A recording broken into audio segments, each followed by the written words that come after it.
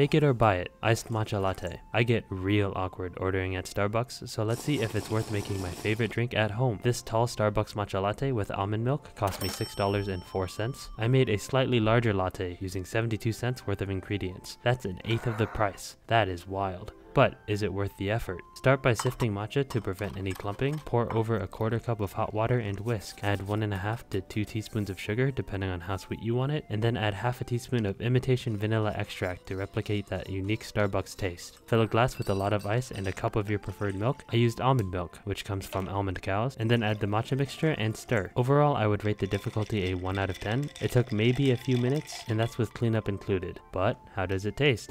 Surprisingly, exactly the same as the Starbucks one. The similarity is uncanny, Wait. but since making it is super easy and way cheaper, make it.